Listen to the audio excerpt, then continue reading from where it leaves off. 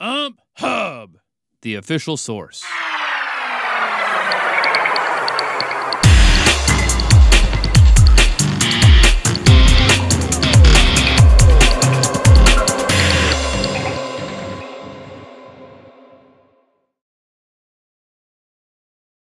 This is Tom Jenkins with umphub.com.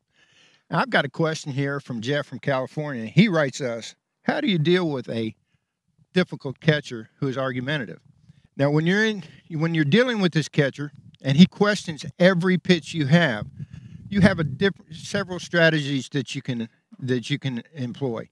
One is taking your brush out, walking out in front of home plate and brushing the plate off, and the whole time you're talking to him, saying, "Son, this is not going to